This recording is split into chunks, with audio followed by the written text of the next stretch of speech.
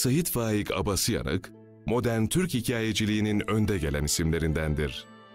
Klasik öykü tekniklerinin dışına çıkarak, insanları iyi ve kötü yönleriyle oldukları gibi anlattı. Toplumun değil, insanların sorunlarına, açmazlarına, bunalımlarına yöneldi. Bu yüzden insanı ele alan sanatçı olarak anıldı. Daha çok şehirli insanları yazdı. Şehirli alt gelir grubunun hayatlarına kalemiyle dokunan yazarın öykülerinde kadere küskünler, avareler, balıkçılar, biletçiler, işsizler, tasaları, korku ve sevinçleriyle kendilerine yer buldu. Hiçbir edebi akımın etkisinde kalmayan Abasyanık, kökü kendisinde olan yazar olarak tanımlandı. Gözlemci balıkçı, sorumlu avare, Çakır Kevsirozlu, anadan doğma çevreci gibi lakaplarla anıldı. Kayıp aranıyor. Şehirli, çalışan ve iyi eğitim görmüş konsolos kızın evinin batılılaşma deneyimini yaşayan bir toplumda huzur, sevgi ve mutluluk arayışlarıdır. Abasıyanık'ın iki romanından biridir. 1953'te yayınlanmıştır. Hikayeci kimliği ağır basan yazarın, bu eseri romandan çok küçük hikayeler topluluğu olarak görülür.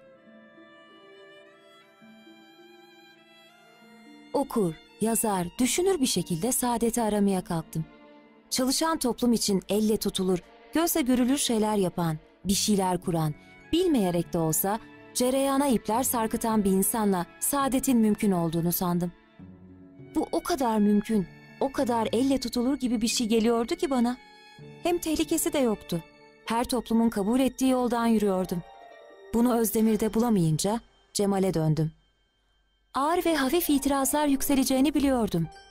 Çünkü annemin dediği gibi deve çıngıraklarının dengi dengine dedikleri masalı parçalamaya kalkmıştım. Şehirde çalışan bir kadın olan Nevin, mutluluğu, huzuru ve sevgiyi özlemekte, yaşadığı hayatı sorgulamaktadır. Gazeteci olan kocası Özdemir'le evliliğinde de mutluluğu, aradığı sevgiyi bulamamıştır. O yüzdendir ki bir otobüs biletçisinin küçük ilgisi, balıkçı Cemal'in kendisine olan meyli, onun sevgi açlığını ortaya çıkartmıştır. Özdemir'e gelince rahatını arıyordu. Ben onun için jilet gibi, tıraş sabunu gibi, kolonya gibi bir şeydim. Ekmeği bile değildim. Tıraş olup kolonya bulamazsa nasıl tedirgin oluyorsa, ben olmazsam öyle tedirgin oluyordu. Ben olursam rahattı. Kocası Özdemir'in onu aldatması, içindeki fırtınaların, adı konulmamış arayışların gün yüzüne çıkmasına sebep olur. Özdemir'den boşanır, bir küçük İstanbul köyünde hayatını sürdürmeye çalışır. Balıkçı Cemal'in bu dönemde hayatına girmesi ise söylentilere ve ailelerinin karşı çıkışlarına yol açar. Her ikisi de birlikte olmalarının mümkün olmadığını görür. Nevin huzur arayışlarına bilinmeyen bir yere alınmış bir biletle devam eder.